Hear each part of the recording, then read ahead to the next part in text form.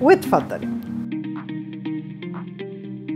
واليوم حنقدم وصفة ولا أطيب ولا ألذ ولا أسهل من هيك. حنعمل بسكوت منال العالم. أنا حبيت أسميه باسمي لأنه هذه الوصفة أنا اشتغلت عليها وحبيت هيك أعطيكم تكنيك مختلف لبسكوت بيدوب ذوبان المكونات عندي كتير بسيطة. طحين النشا والسكر الناعم البودرة وححتاج خليط من الزبدة والزيت.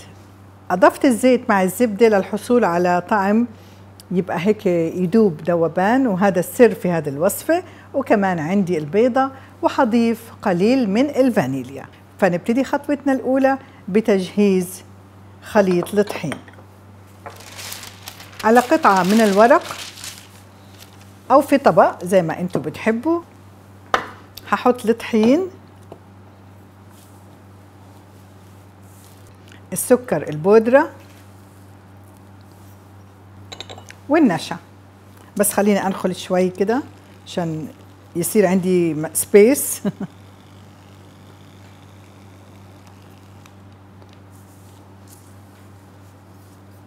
حضيف الملح وال baking powder برجع أعزائي باخد هالخليط وأنخله كمان مرة. يعني مرتين ثلاثة كل ما نخلته أكثر كل ما كل المكونات تجانست مع بعضها بلاحظ عندي هلأ شوية سكر. نرجع ناخد من أسفل إلى أعلى وأرجع أنخل.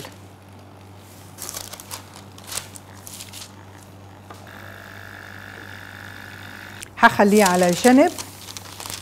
وفي وعاء الخلاط. ححط الزبدة. الزبدة تكون لينة في درجة الحرارة العادية. نطلعاها من البراد قبل بوقت كافي. وأحط الزيت. وحضيف البيضة. والفانيليا. حثبت مضرب التقليب وأشغل لغاية ما تختلط عندي هالمكونات مع بعضها.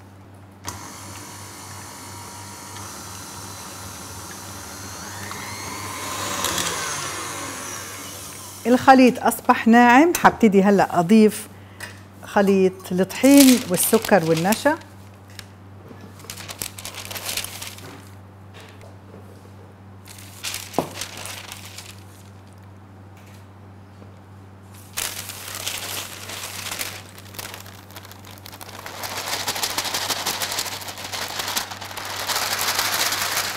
وأشغل على سرعة بطيئة لغاية ما تتجمع عندي المكونات وتصير عندي عجينة ناعمة.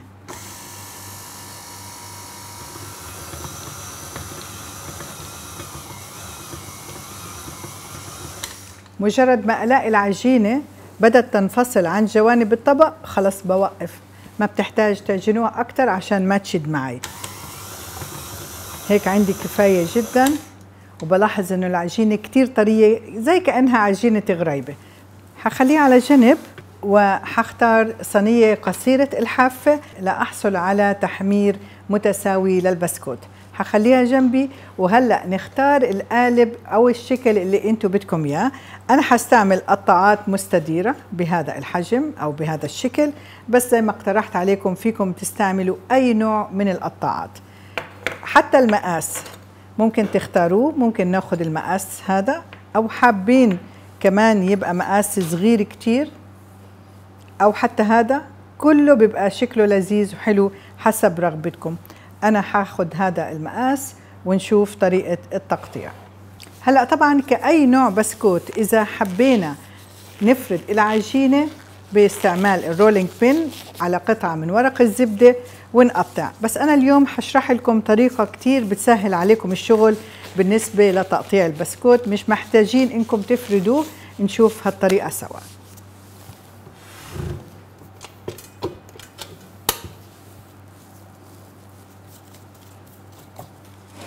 حاخد كمية بسيطة من العجينة أضغط عليها بإيدي بهالطريقة. وأشوف قديش أنا بدي البسكوت سمكته. أنا هذا البسكوت بدي إياه يبقى سميك شوي حوالي واحد سنتي. بحطها بإيدي واضغط عليها ضغطة بسيطة خالص وآخذ القطاعة اللي أنا محتاجاها أو اللي اخترتها ومجرد أعمل هذه الحركة. بشيل الزوائد وببساطة بضغط على البسكوت ليطلع عندي في منتهى السهولة. هاي الطريقة كتير رائعة اعتمدوها لتشكيل البسكوت. لاحظوا كيف؟ نضغط ضغطة خفيفة. القرص اللي أنا عملته لازم يكون أعرض من الكتر اللي أنا عم بستعملها عشان أحصل على هذا الشيب. بتخلص من الزوائد. وبضغط ضغطة خفيفة ليسقط البسكوت بإيدي في منتهى السهولة. بستمر بتشكيل وتقطيع البسكوت والصينية بدخلها الفرن على درجة حرارة 180 حوالي 12 دقيقة ليأخذ لون ذهبي فاتح ونشوف طريقة التقديم. البسكوت بعد ما يطلع من الفرن بسيبه يبرد شوي وممكن بس أجمعهم على بعض وأرش عليهم السكر الناعم.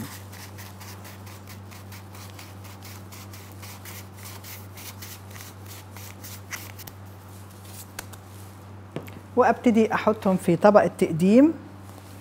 بسكوت منال العالم كتير دلوع كتير لطيف كتير رقيق. يعني بدكم تاكلوه وأنتوا هيك مستمتعين بطعم بفت في تمكم هش لذيذ. وزي ما اقترحت عليكم تحطوا أي نوع مطيبات اللي أنتوا بتحبوها.